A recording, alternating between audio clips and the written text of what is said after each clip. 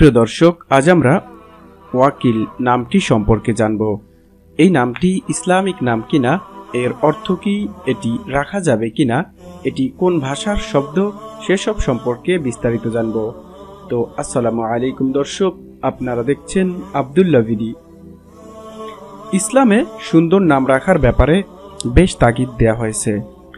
মুসলিম শরীফের এক হাদিসে এসেছে প্রত্যেক মানুষের উপর তার নামের প্রভাব পড়ে, তাই আমাদের উচিত সুন্দর, অর্থবহ ইসলামিক নাম রাখা। যদি প্রশ্ন করেন, ওয়াকিল নামটি কি ইসলামিক নাম? হ্যাঁ এই নামটি একটি ইসলামিক নাম।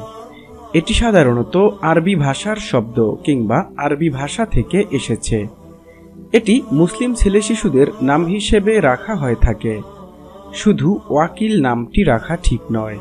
ওয়াকিল নামটি আল্লাহর একটি গুণবাচক নাম। ওয়াকিল নামটি কেবল আল্লাহরই হতে পারে।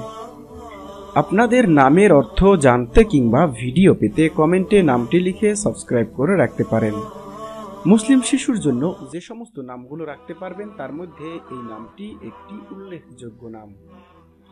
ওয়াকিল নামের সঙ্গে আব কিংবা আব্দুল যোগ করে নিতে হবে।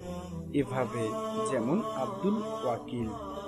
আব কিংবা আব্দুল এর অর্থ হচ্ছে বান্দা কিংবা গোলাম। আর ওয়াকিল শব্দের অর্থ পরম নির্ভরযোগ্য কিংবা কর্ম সম্পাদনকারী। আব্দুল ওয়াকিল এর অর্থ হচ্ছে পরম নির্ভরশীলতার বা- বান্দা কিংবা গোলাম। ভিডিওটি শেষ পর্যন্ত দেখার জন্য ধন্যবাদ। ওয়াকিল নামের বন্ধুদেরকে ভিডিওটি শেয়ার করতে ভুলবেন না। আসসালামু আলাইকুম রহমতুল্লাহ।